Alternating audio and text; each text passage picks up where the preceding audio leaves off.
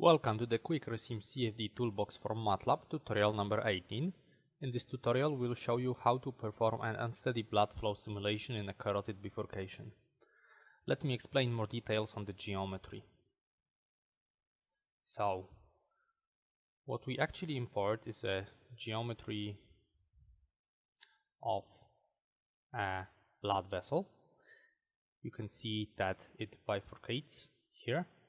The inflow is on the bottom so your prescribed velocity inlet profile in here and after that we will investigate how blood splits through this junction and what is the level of shear rate generated in this vicinity. This information is crucial in clinical research. It's a very common topic in CFD actually. Okay, let's discuss the parameters here. Viscosity is 3.8 we do not multiply it by 1 over million because we will consider our units here as millimeters in our software.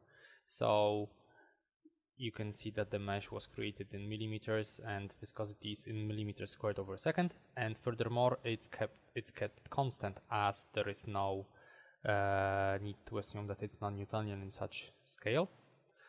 We define the time step 0.075 seconds and we just perform 20 time steps for the simulation. We assemble the mass matrix because the simulation is unsteady, initialize the movie object, and now let's have a look at the main time stepping loop. So some things are already pretty familiar. We assemble Navier-Stokes matrix and add unsteady terms. That's the value of the inlet velocity. Actually, we should make it pretty much larger in here. That's the inlet on the bottom, so that's just the vertical component, no slip on the sides. We calculate gamma, that is the shear rate, so that in every time step we can just display that on the boundaries of our blood vessel.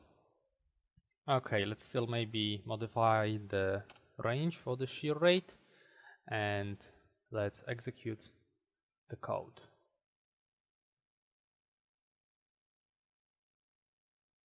Ah, okay, so yeah, zero shear rate at the very beginning, and step after step we're gonna get our flow developed.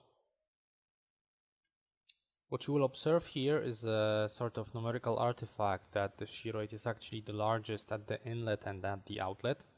At the inlet it results from the fact that the profile is not smooth, actually it has non-zero velocity at the wall, so it's being artificially uh, large shear zone generated on the edges and at the outlet simply it's really hard to define proper boundaries.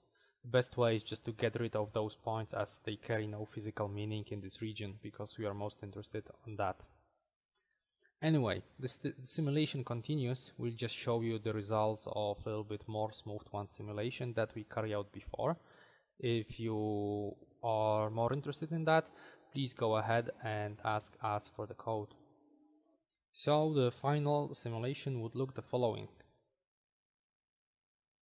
You can see that there's a pulsatile flow and uh, yeah, the shear rate keeps on pulsating on the junction and in the vicinity to the outflow. But here, this region is actually the region of our main concern. Okay, so that's everything regarding this tutorial. We hope that you enjoyed. Please subscribe, like, drop us a comment and visit our website quickersim.com for more, more tutorials. See you next time.